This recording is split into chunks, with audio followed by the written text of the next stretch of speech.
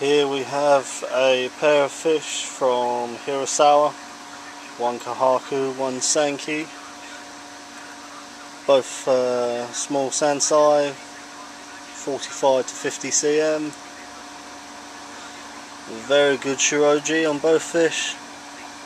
The Sanke I like in particular, Sumi is very good quality. Lots of Tsubo Sumi on the fish.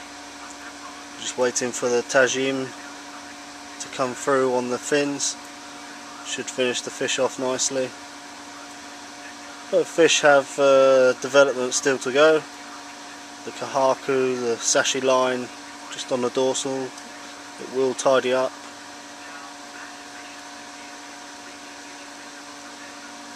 Two fish I'm uh, very pleased with for the money.